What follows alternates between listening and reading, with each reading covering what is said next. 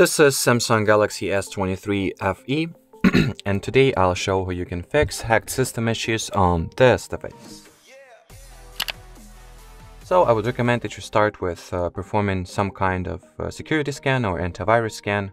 First method is to launch the Google Play Store, then here tap at your profile picture. So let's first wait for it to load. And now open the Play Protect page. Here perform the harmful, harmful apps scan. Another method to do it, to do the security scan, antivirus scan, is to find the Avast antivirus app, get it installed, and run an antivirus scan using it. So let's firstly get it installed here.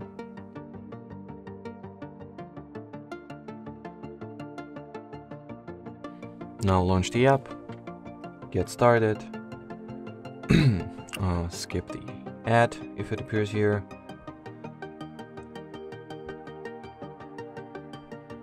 Now start a scan, but before you will be able to grant the Avast app with all the permission that it needs for it to work properly, all the essential permissions.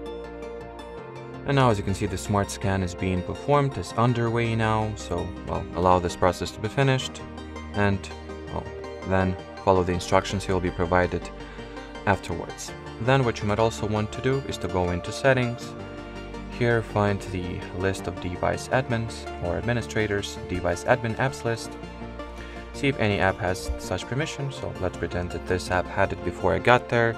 So what you want to do is to deactivate this permission then see if anything changes for the better and if it will that means that the app in question was the root and cause for all your issues to occur so not only you should not get this permission back to such app but i would adv advocate that you also uninstall such app right away so go into settings apps then find the app in question on this list let's say it was i don't know uh,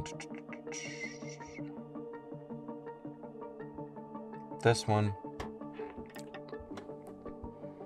and then just uninstall it. So that will be it for this video. Thanks for watching and bye bye.